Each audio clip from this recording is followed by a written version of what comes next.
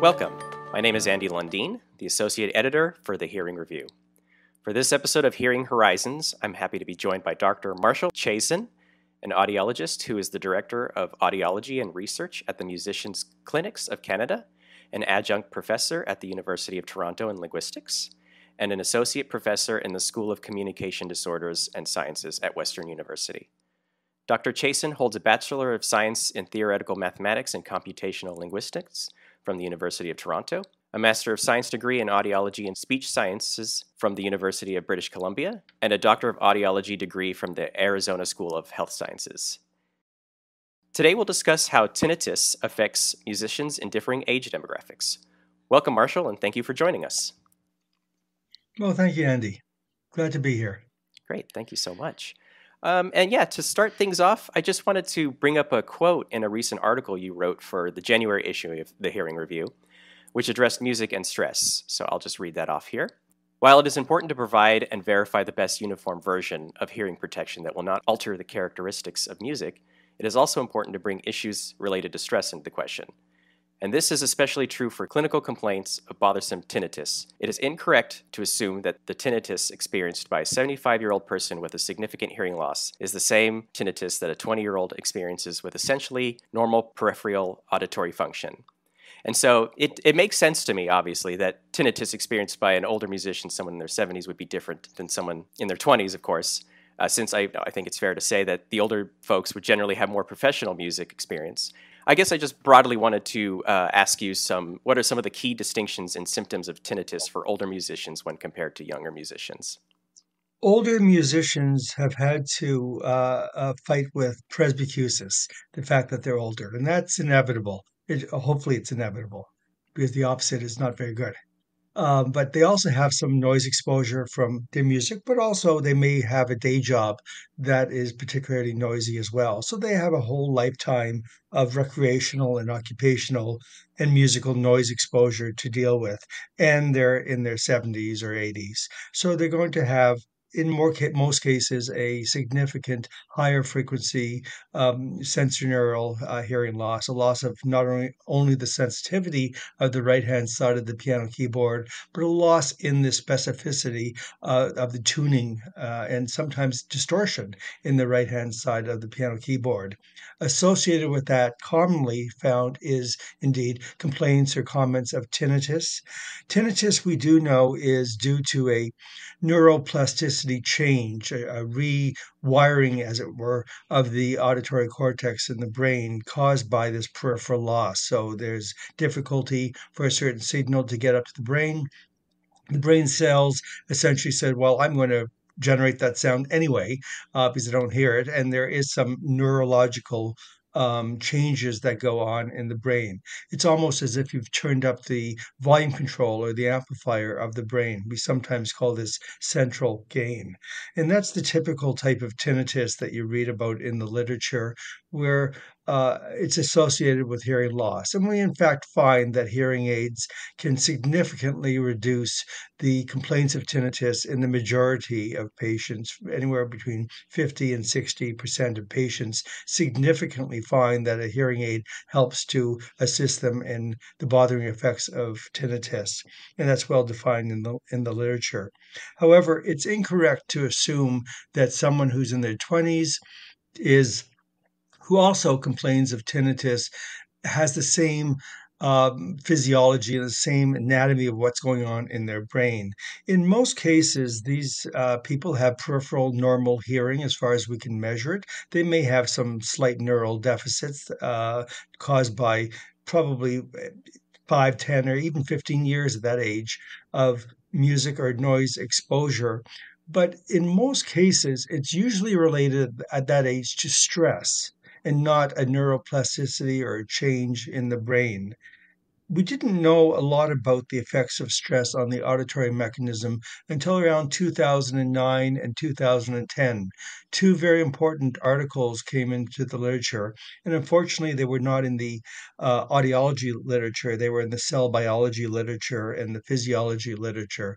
And essentially, what it says is that there's a mechanism called excitotoxicity uh, technically it's called glial uh, t- uh, excitotoxicity. And the way this works is that when you are stressed, the adrenal glands on your kidneys emit a very strong level or high level of cortisol, one of the stress hormones. Through uh, some interesting biochemical reactions, cortisol can cross into the brain, and once in the brain, facilitates higher levels of glutamate. Now, we may not heard of glutamate. We've heard of dopamine and we've heard of serotonin. These are the neural transmitter substances that live in between neurons. But glutamate is the one for our auditory system. High levels of stress results in high levels of cortisol, which results in high levels of glutamate. Glutamate at higher levels is toxic to the ear or toxic to the auditory cortex in the in the brain. So people that are stressed would, uh, at least at the smallest molecular level, uh, the ear doesn't know the difference between loud noise and high levels of stress. It ultimately results in calcium ions uh, going into the cell and uh, creating cell death. That's how uh, excitotoxicity works. So the ear doesn't know the difference between loud noise or high levels of stress. Now, let's look at a typical 20 year old or 25 year old musician. The at least in Canada, the average salary of a 20 year old musician uh, to 25 year old full time gigging musician is around 16 or 17,000 dollars, barely at the subsistence level. Um, they can't always pay their rent. If they live in a large city, rents can be very high where's the next meal coming from? That's not black and white. That's not very clear. We live in a society that does not respect musicians and performing artists to the same extent they uh, respect other professions like lawyers and doctors and audiologists, for that matter. Um, so we live in a situation where you really have some environmental stresses on a young musician. You know, how can I pay my rent? Um, you know, will I get paid? Will I be able to afford food? And God forbid if I ever get sick. Uh, and now in Canada, it's a little bit better than, than the United States, but music exposure or being exposed to music as a live performing artist is a very, very stressful thing. And it's through this process that I've just described of glial excitotoxicity that they can experience tinnitus. Purely environmental, not because of there's any change or rewiring or neuroplasticity of the auditory cortex in the brain. Gotcha. Great. Do you uh, is that generally the case? Do you find that um, in in younger tinnitus cases that it's it's typically stress, and do you find that might maybe is like an overlooked aspect from the hearing care professional that specifically? Thank you for that. Most definitely. I think the number one reason a 20 some odd year old musician will come and see me is not because of hearing loss or not because of anything else, but they have tinnitus. And it's tinnitus that is scaring the heck out of them. Uh, they're saying, Is my musical career finished? I'm only in my 20s. There's nothing that I could do uh, to, to get rid of this tinnitus. I've read Google and, and I've you know looked at all the chats on the literature. Tinnitus is bothersome. They come in very, very stressed. And a lot of the times I just sit down with them and it's a counseling session. We just sit back. I give them that little educational note about where I think it's coming from and how it's related to stress. It's not just that stress affects your heart and your liver and your kidneys, but also your hearing mechanism and I tell them essentially to relax. Um, now, it's easy for me to say that, but we do want to develop other mechanisms by which the stress can be reduced. Uh, at the musicians' clinics in Canada, we are working on trying to develop performance spaces with other groups, not just us, of course, it's everyone together. Uh, we're trying to also advocate for them to have better funding, whether it's in, in the case of Canada, federal or provincial funding or uh, other means to support them whenever we can Man personally, whenever I see a musician, especially of that age group, I would not charge them for the hearing test or the counseling session. Um, I can make my money other ways as an audiologist, but as far as young musicians are concerned, they need all the input or the therapy they can. I do frequently suggest that they do see a psychologist. A psychologist is worth their weight in gold, and some of the stress reduction techniques uh, that you can garner from an interaction with a psychologist is is is is amazing and it will be useful throughout your entire life. We do have several physicians associated with the musicians clinics who are musicians themselves, and they also do a lot of counseling with the musicians. And it's amazing the number of I'm going to use the phrase musician injuries that we see that are really stress related, uh, tinnitus being one of them. Gotcha. One of my other questions was, uh, you know, how does the treatment for tinnitus differ? Obviously, it's quite different, uh, just based on what you're saying. You, with the younger musicians, you're kind of going in with more of like a gentler approach, kind of a reassuring sort of sentiment. I think that's probably the biggest distinction. And I, when you're when, when it's older, it's much more, much more diagnostic, thorough. that that is true. Um, in fact, um, people have commented both favorably and I suppose unfavorably, depending on their history with with audiologists, that I spend the vast majority of time talking with them and, and talking about information giving, and a, a minority of time actually twiddling the dials in the soundproof booth. So working with young musicians is mostly audiology outside the booth, not inside the booth. Mm, mm-hmm. And so the uh, the musical landscape has evolved a lot over the years, um, and it makes me think about how you know musicians who are older didn't do the right uh, hearing precautions, um, do the right safety measures to make sure that you know in the future they wouldn't be developing certain hearing issues um, such as tinnitus. And it, it makes me wonder about are there newer innovations or technologies which address tinnitus in the future for these younger generations there are a number of techniques and devices that are available that will minimize the effects of music or noise exposure on the musicians in hopes that when they are 60 or 70 years old they will still have relatively good hearing. Um, and these are these fall into the realm of hearing protection or hearing loss prevention i guess is a better way of saying it. Um, since 1988, there's been a number of flat or uniform attenuation earplugs. And imagine putting an earplug or plugging up your ears. You've lost the lower frequency, the left hand side of the piano keyboard, just a little, little bit. But the whole right hand side of the piano keyboard, the treble notes, the harmonics, are brought down quite a bit. So music sounds very dull and very uh, as if you're listening to it from another room.